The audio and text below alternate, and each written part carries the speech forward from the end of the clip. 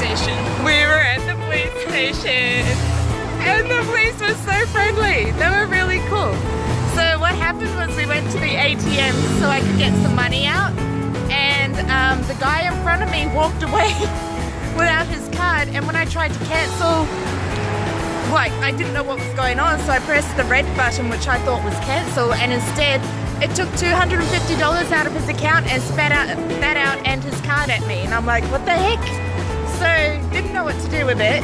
And we were waiting at the bank for him to come back but he didn't come back. Yeah, because he booked it out of there really fast. Yeah. We couldn't catch him. he was on the phone. He just ran out. And we're like oh. And so Mark came.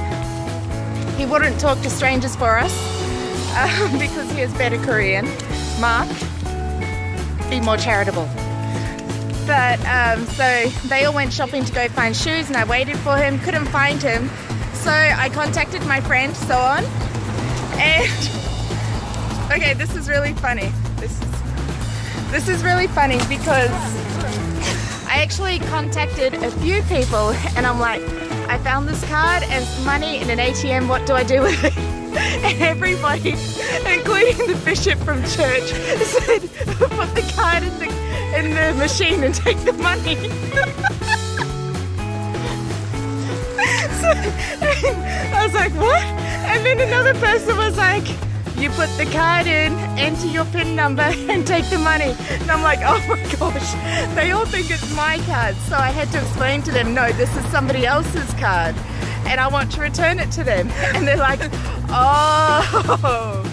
But by the time they got back to me, someone had already given me some good advice, and I'd gone into the police station where we spoke to the police, and they were pretty happy. They took our details.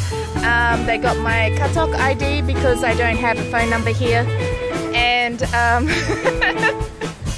and I guess they're going to contact me and let me know if they're able to find the owner.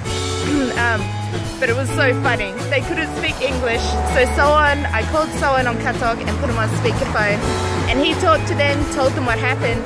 But then one of them also had a um, a translator on his phone called Papago, and he, I guess it's his first time using it, so he was really proud of it.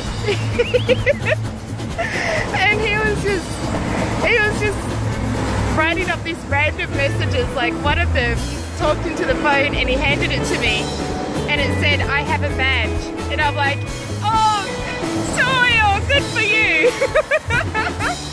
and then, and then he was told to ask me for my ID, and it came up, uh, can you show me your sleeves again? And I'm like, sleeves? And he's, he's so proud, he's like, yeah. And then I looked at it and I went, oh, sleeves, sleeves. And he went, what? Oh, and started hitting the so yeah, that's our adventure for the night. It's not even eight o'clock and we've already been in, we've already been in the police station. Yep. Marin doesn't like police. Apparently she has a record. I do. I don't want to talk about it. It's personal. Alright, so we're gonna head home. We have church tomorrow and I guess we had a really good little adventure.